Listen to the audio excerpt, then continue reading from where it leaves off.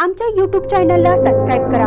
महानकारी news subscribe करा आणि notification on करा. नोटिफिकेशन ऑन केल्यामुळे आमचे अपडेट आपल्यापर्यंत सतत पोहोचेल. स्त्रीला मंदिर प्रवेशासाठी झगडावे लागते हे मोठं दुर्दैव. आमदार मुश्रीफ राज्य महिला आयोगाच्या रौप्य महोत्सवानिमित्त कायदेविषयक जागृती. समुपदेशन ही काळाची गरज असून त्यामुळे अनेक संसार वाचतात. भुरसटलेल्या विचारांमुळे आज स्त्रीला मंदिर प्रवेशासाठी झगडावे लागते. यासारखे कोणते मोठे दुर्दैव नाही असं मत आमदार मुश्रीफ यांनी व्यक्त केले.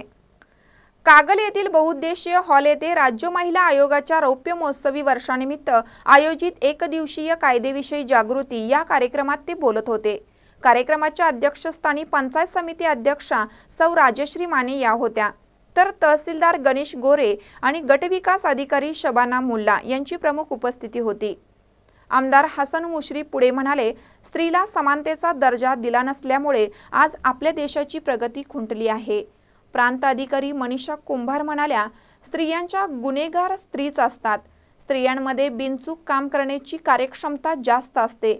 स्त्रियांनी स्वतःला अबला न समजता आपले कार्य करत राहावे. असे आवाहन प्रांत कुंभार यांनी केले. नीता मगदुम यांनी कामाच्या ठिकाणी लैंगिक छळ तर राणीताई पाटील यांनी बेटी बचाव देश बचाव या विषयावर आपले मत मांडलं. स्वागत वैशाली नाईक यांनी केलं. यावेळी ॲडव्होकेट वृषाली देसाई नैना कांबळे यांच्यासह बचत गटाच्या महिला मोठ्या संख्येने उपस्थित होत्या. महानकर न्यूजसाठी कागलहून राजेंद्र पाटील वंदुरकर.